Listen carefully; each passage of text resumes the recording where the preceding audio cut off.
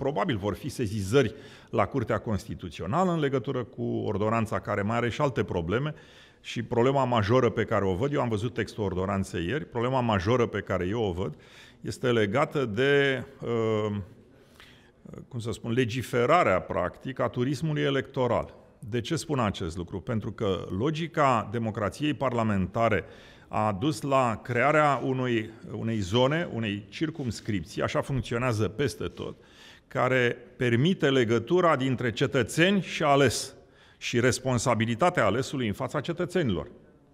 În momentul în care se desfințează circumscripțiile electorale, dacă nu ai o listă națională și permiți votul uh, oriunde și oricând, atunci sigur că această logică este înfrântă și uh, ea uh, distruge uh, uh, conexiunea, legătura care trebuie să existe între alegător și uh, ales.